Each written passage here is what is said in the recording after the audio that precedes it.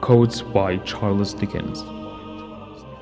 If Hussein had fought to quench his worldly desires, then I do not understand why his sister, wife, and children accompanied him. It stands to reason, therefore, that he sacrificed purely for Islam.